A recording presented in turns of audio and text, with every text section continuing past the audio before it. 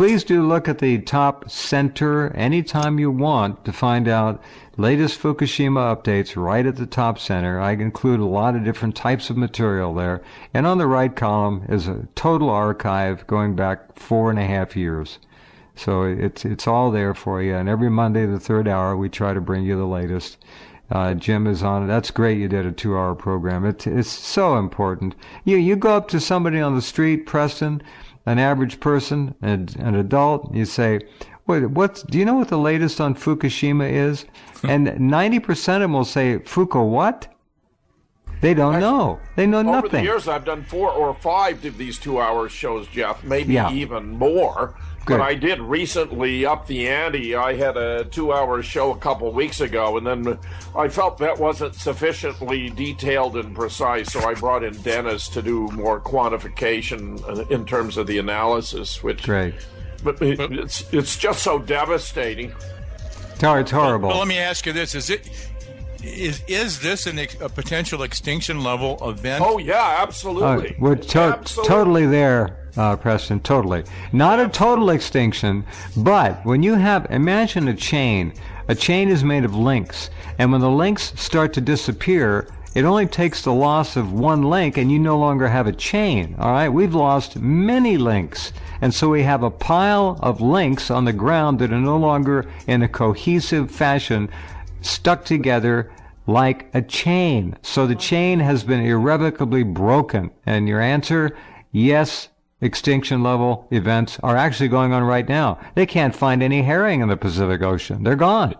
It, They're just it gone. has to do with the, the chain of life because higher species feed on lower and lower on lower, and eventually you get down to algae and plankton. But even the algae and plankton are being destroyed. I mean, uh, everything at a higher level is destined for extinction once you have annihilated any level at the Great Chain. You're you're correct. You're correct. All right, we have to do a little shorty here. We'll come back in just a couple minutes. Okay, and we're back with Preston James and Professor James Fetzer. Uh, this upcoming Olympics competition in Japan is insanity. They are going to hold much of that right in Tokyo Bay, where they've been dumping all of this ash from their municipal incinerators, uh, dumping other waste. Uh, the, the radioactivity there is uh, unacceptably high, uh, to put it mildly. Yoichi's been over there. He's tested it. He's gone around, and around, and around, and around. He said it's ludicrous. It's absurd. The athletes are going to get sick. Some are going to die. Not necessarily at the games, but they're going to pick up the radionuclide inhalation. They're going to eat the food. Count on it. Japanese food is wonderful. Don't worry. We feed you. You'll be very happy.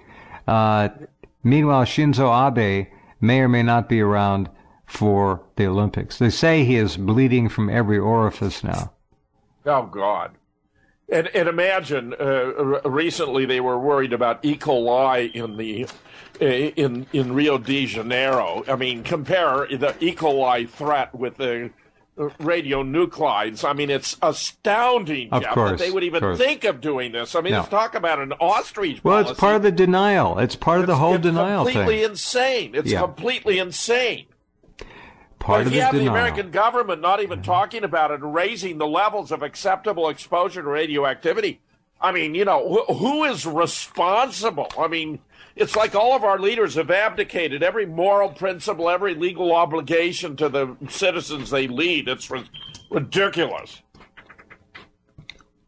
Preston, go ahead. Well, the the bottom line is we have a establishment that's in control. The word "establish" is exactly what they're doing. They have the power to establish any policy they want. So you have a handful or less, maybe two or three or four top policymakers. We all know who they are. We don't need to mention their names and bring extra heat right now. But these pol- top policymakers, they get some little uh, thought in their head. Gee, uh, I want to set this new policy up for Homeland Security. Uh, for example, if there's a car accident and someone's killed, they have a new policy where they block off the highway on both sides for the afternoon for a complete investigation. Because Right. basically, they want to screw the average. Uh, That's true. They consumer. could move that stuff out of the way and carry on their investigation without doing that. Just slow everyone down, keep the traffic moving. No, they stop it. Oh, yeah. That came from one person, one top policymaker, because everything's organized in a big hierarchy with one or two guys at the top. They make an edict. It goes down. Every police chief, you know, jumps on the bandwagon. Homeland Security. This is just the way we do things. Yeah. You know, and you know, like if somebody moves while you tell them to stand still with your gun on them, you shoot them. Doesn't matter in the front, the back, whatever. That's a new policy. You well, they yeah they do not have a shoot to Yeah. wound policy and haven't for years. It's a shoot to kill. Uh, Dead witnesses don't make uh, very good appearances in court. Uh, that's the truth. Kill them. But you empty your Glock. Hi- You know, boom, Did, boom, boom, boom, boom, did you boom, see you- that yeah. poor guy that came out of the house? You know, people get in arguments. So the wife calls 911. My husband's yelling at me. He's threatening. And, and, and. So the cops come. The guy comes out in front of his house. You, did you see the video? The a second video showed it. up today. I saw it. Yeah, it the guy has his hands up in the air, straight over his head. They just they just executed him. Yeah. Simple. No, no uh, mistake. They executed him on the spot because they know they're not going to be held accountable. Very rarely do you see a cop get charged with murder. It just doesn't happen.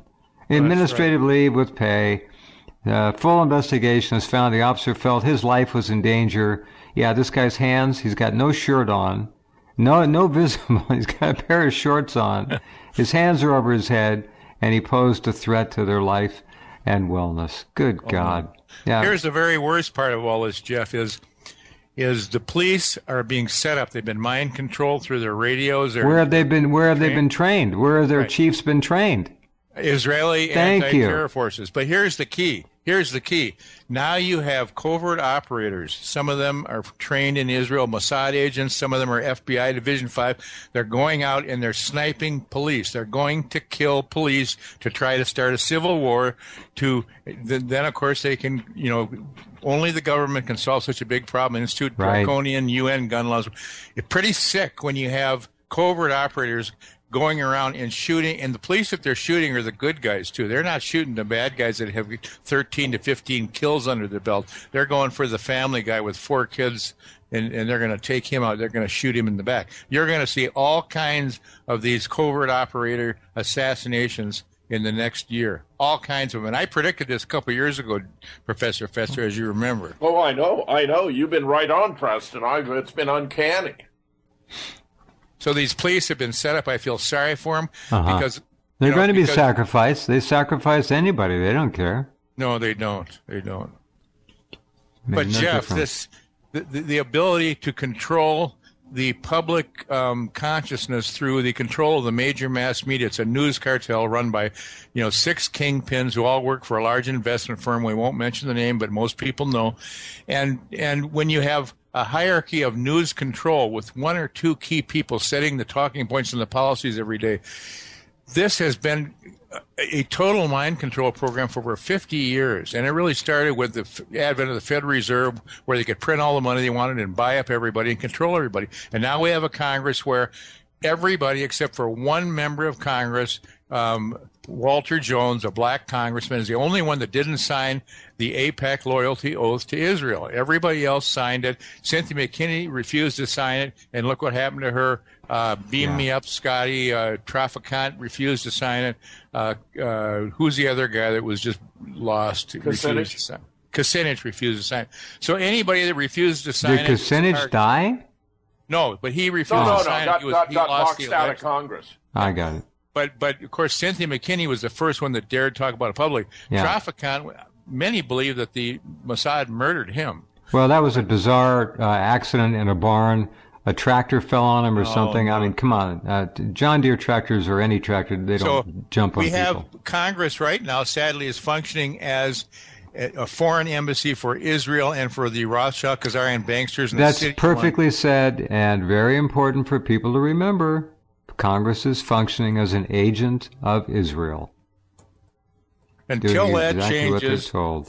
Until that changes, we're going to have all these wars. We're going to have all these dead and wounded Americans and millions of innocent people knocked out of their homes and, and blown to pieces. It has this this this Rothschild Khazarian mafia bankster Israeli war machine. It has to stop, and we got to rout these Israeli American Israeli first dual citizens out of our government. We got to de- deport them all back to. They love Israel so much. Good. They have to either reject their citizenship to Israel they can never hold political office again. I say the people involved either jail the ones involved in 911, the rest of them deport them all. If they want, if they love it so much, take off back to your home. It's, it's practically miraculous that, that we have 34 Democratic senators who are going to stand up for the Iran deal because the merits of the Iran deal are overwhelming. But the furiousness of the oppo- opposition that's inspired by Israel because it doesn't want to have Iran exerting more influence to dispute its control of the Middle East, which it aspires to dominate from the Tigris Euphrates to the Nile, is simply overwhelming. I, I mean, I television, we're still seeing one bizarre, misleading attack on the Iran deal. The picture of the Ayatollah Khamenei, who's supposed to be, you know, out to build nukes. Iran doesn't even want nukes. Their their policy is nuclear energy for all, right. nuclear weapons for none, and that is their policy. Going to stay that way too. Uh, some of the uh,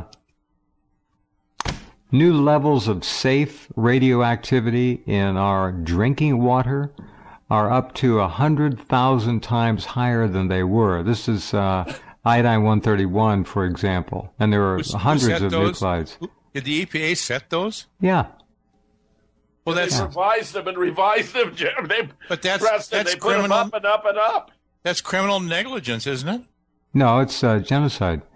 Uh, here's a story. Let's see. Hold on. The EPA maintains a set of so-called protective action guides, PAGs. These PAGs are being quickly revised upwards to radically increase the allowable levels of iodine 131, for example, a radioactive isotope, to anywhere from 3,000 to 100,000 times the currently allowable so-called safe level of exposure in your drinking water. All right. Everybody better be taking iodine then, if it's going to. I mean, uh, that's the first place it goes is your thyroid, isn't it? Yep. Yep.